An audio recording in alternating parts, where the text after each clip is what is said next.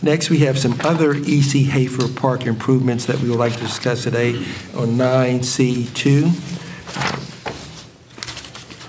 Ryan, are you going to give us the update on these? Yes, sir. Thank you. Good evening, Ryan Oxner, Director, Director of Community Quality. I wanted to speak to you about a couple of projects we have uh, in uh, and near Hafer Park. These projects are up for design, and to orient you to the three projects um, that are kind of merged together in this one larger project. Here is Bryant, of course, Hafer Park shown here. Here's uh, Second Street and Vista Lane. We'll talk about that in just a minute. Down here on the south side is 15th Street.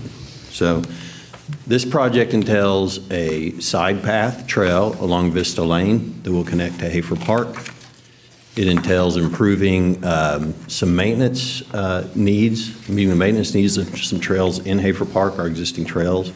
Just um, looking to maintain, fix some cracks, those sorts of things. We're not looking to really rebuild or widen these trails, just uh, kind of some upkeep.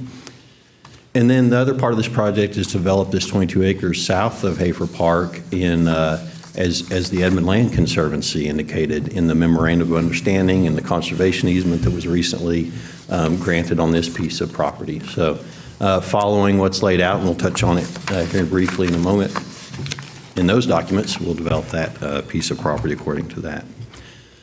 Uh, And actually, that's what the next slide is about. Uh, So here on the north is Hafer Park, here's Spring Creek, and this is the master plan that was developed working with Edmond Land Conservancy.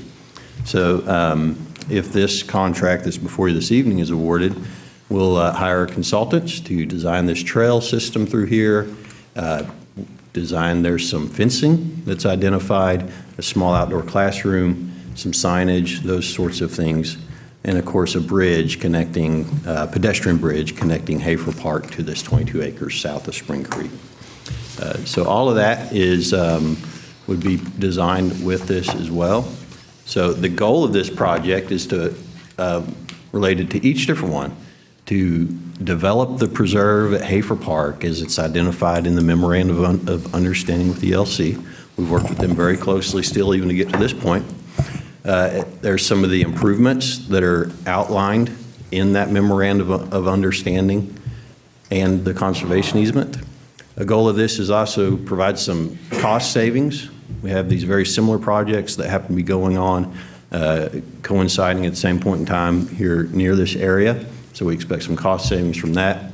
And, uh, but also still keep everything uh, transparent as far as funding goes. Um, And let's see, I got a slide on that here and just, actually right here. So if, as you recall, of course, there was a temporary uh, tax to buy that land south of Hafer Park.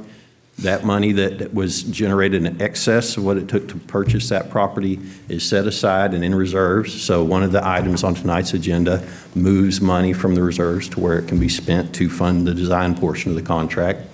There will still be funds left there to uh, construct the improvements that are going to be designed. Next year, in the park tax fund, we've identified some funding for the trail improvements and also the Vista Lane Side Path Trail Project that I mentioned. Uh, There was recently a grant that you all accepted um, that will fund that with some city matching funds. Our timeline looks at over the next year, going through all this design process, and then uh, being ready for construction right at a year from now is what we're shooting for.